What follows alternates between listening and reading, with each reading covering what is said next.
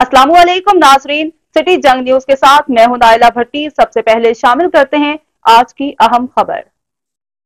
गुजरात से district bureau chief नदीमुल्ला बाट की रिपोर्ट के मुताबिक district police officer Gujrat police की मंशियात फरोशों के खिलाफ कार्रवाइयाँ जारी।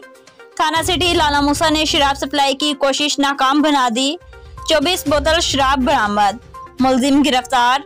डीएसपी लाला मूसा सर्कल मोहम्मद रमज़ान खम्बू की सरबराही में एसएचओ थाना सिटी लाला मूसा अंजुम शहजाद ने अपनी पुलिस टीम के हमरा जीटी रोड पर दौरान नाकाबंदी, मशकूक कार से मुलजिम वसीम वल्द असलम मसीह सकना फिरोजपुरा, लाहौर को रंगे हाथों गिरफ़्तार करते हुए शराब सप्लाई की कोशिश को नाकाम बना दिया।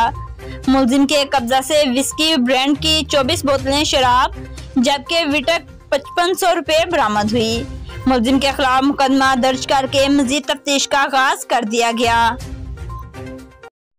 अब तक के लिए इतना ही। मजीद खबरों और अपडेट से बाखबर रहने के लिए देखते रहें सिटी जंग न्यूज़।